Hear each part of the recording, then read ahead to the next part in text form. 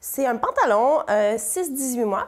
Puis du coup, comment on peut le faire grandir avec l'enfant? Il y a l'ourlet ici qu'on peut plier et l'ourlet dans le bas de la jambe qu'on plie ce pantalon, Cynthia Macamo l'a conçu pour se faciliter la vie. Cette maman d'origine québécoise en avait assez de jeter les vêtements de ses enfants au fur et à mesure de leur croissance. Alors, elle a importé un concept venu du Canada. Lorsqu'on est arrivé en France il y a quatre ans, euh, mon fils était, il avait neuf mois. Puis j'ai été euh, ben, surprise de constater que le vêtement évolutif était peu commercialisé. Il existe chez certaines euh, créatrices, mais c'est vraiment à très faible échelle. Puis moi, j'ai vraiment envie de le faire connaître au plus grand nombre possible de familles françaises pour qu'on puisse tous faire notre petit plus pour la planète.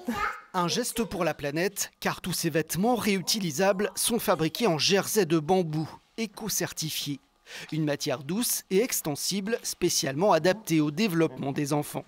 Avec son mari, la jeune femme vient de lancer son site sur Internet et les premiers retours sont très encourageants.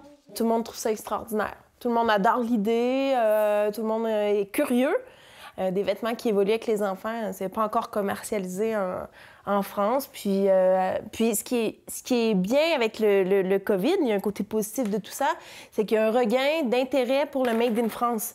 du coup, ben, je trouve ça génial.